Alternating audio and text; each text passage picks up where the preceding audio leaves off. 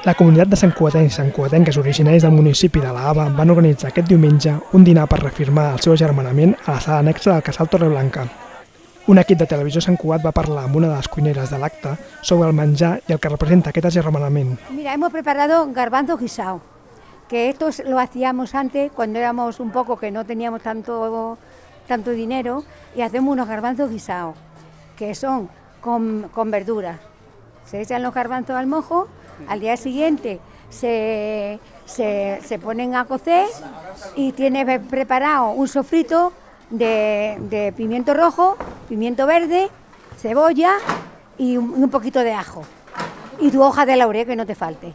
Y entonces cuando están los garbanzos ya hablando, sacas unos pocos, los pones en la turmi, lo trituras todo y cuando ya están los garbanzos a punto, lo echas.